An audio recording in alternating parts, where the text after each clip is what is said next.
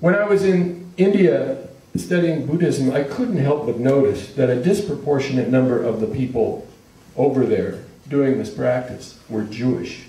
and then I came back to the United States, and the first big Western meditation center was started by Goldstein, Kornfield, Salzberg, and Schwartz.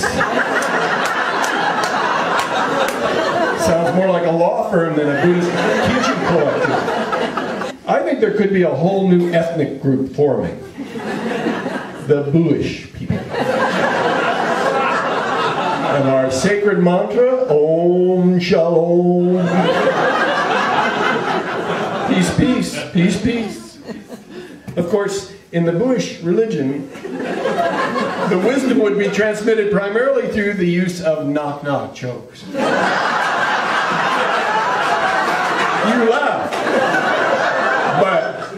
The disciple comes to the master and says, and the master answers with the number one spiritual question, who's there? If you don't get the joke, you have to be reborn over and over again.